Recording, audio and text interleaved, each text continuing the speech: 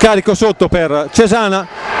Davide Terranio ruba il pallone e poi Cesana commette fallo da terra commette fallo da terra. Lollo due tiri liberi per il nostro Davide Terranio. Fallo commesso da Cesana che ha qualcosa da dire agli arbitri. Primo libero per Davide Terraneo 51-50 basket Calolzio buono il primo libero di Davide. Ottimo 51 pari 1-22 da giocare. Davide 2 bravissimo Davide. Secondo libero di Davide. Pandemonio al palla madonna di Rovello 1-20 da giocare ancora. Chiamano lo schema L. Cesana Cesana ancora. Blocco irregolare da parte di ma no blocco irregolare da parte di Davide Terraneo. Non ci credo.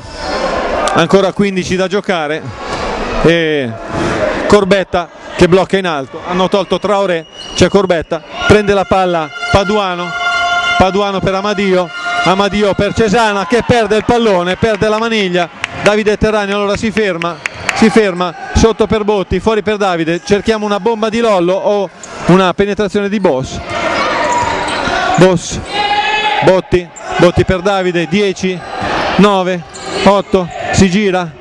Botti, arresto e tiro di Botti. Ed è buono, ed è buono, grande Botti, 5-4, 5-1, grande Botti, più 3 basket Rovello, forza ragazzi, curiamo, bomba del numero 6 che va dentro,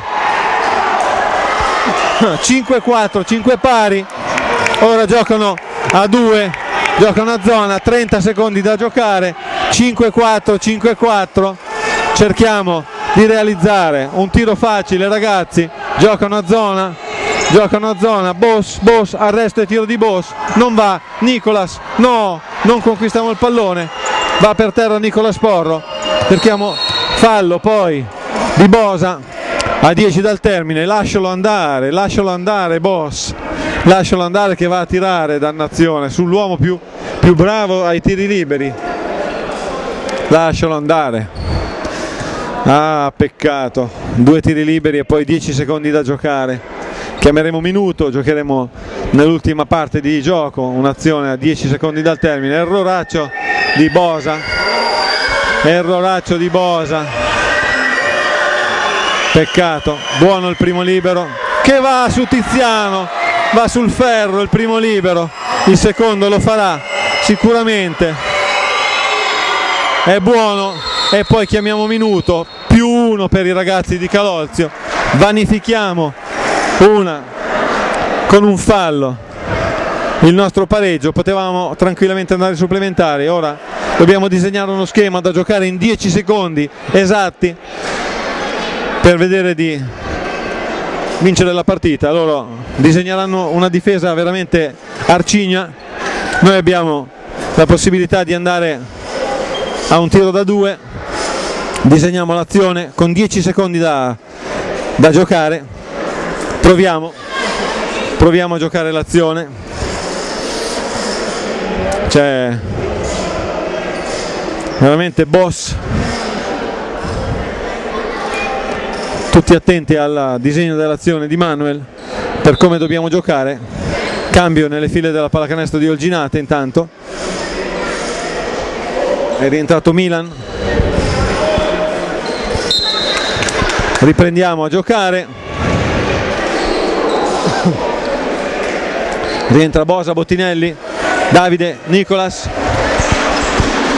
e Lollo Lanzi. Vediamo cosa riusciamo a giocare in 10 secondi esatti. Loro giocano a uomo.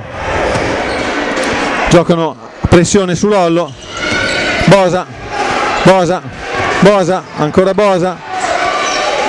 Botti che fa sfuggire il pallone, stoppatona e poi perdiamo la palla.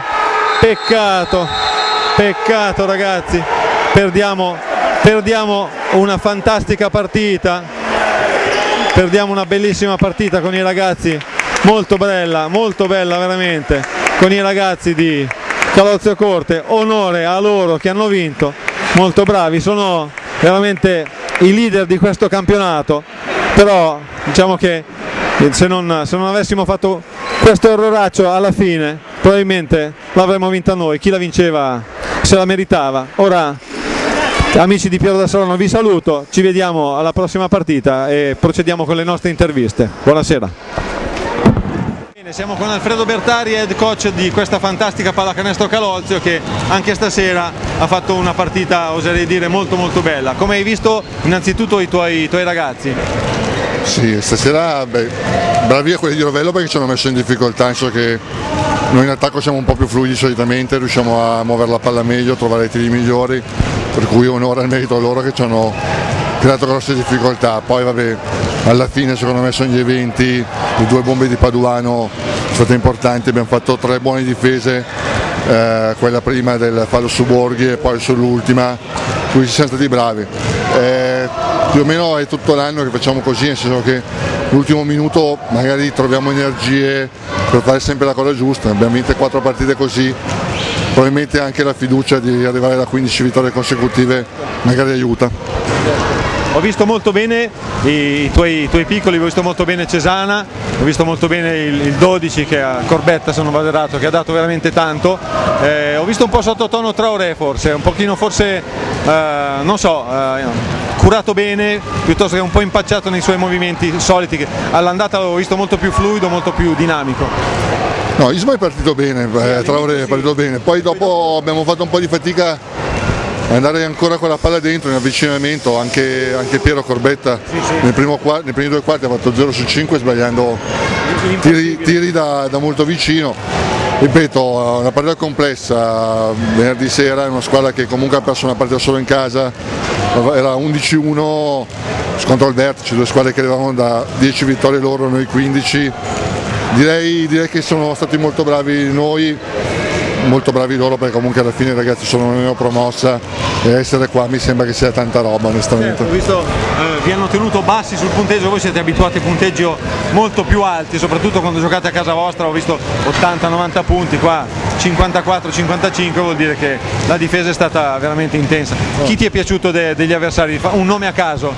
Beh, ci ha fatto molto male Terranio, sì, ci ha fatto molto male Terranio che ha attaccato il ferro, eh, Nicola Sporro oggi ha fatto, ha fatto, i canestri da fuori che comunque eh, poteva essere una simile scelta, quella di riempire l'area con i nostri lunghi, concedendo qualcosa magari a Pancino e a Nicolas da fuori, ci sta, lui è stato bravo, Lanzi ha fatto le due bombe sul quali noi siamo stati magari un poco attenti perché sapevamo che potevamo, sapevamo che potevamo fare quella roba lì, però abbiamo preso anche 54 punti, insomma non si può fare di precisi sempre. Bene, eh, faccio i complimenti veramente a questa bella squadra, molto intensa, molto, molto dura, ci vediamo ai playoff sicuramente. Ciao, alla prossima, ciao, ciao. Luca Botti, grande, grande ala questa sera, com'è andata? Come hai visto la tua partita innanzitutto? No, beh, abbiamo...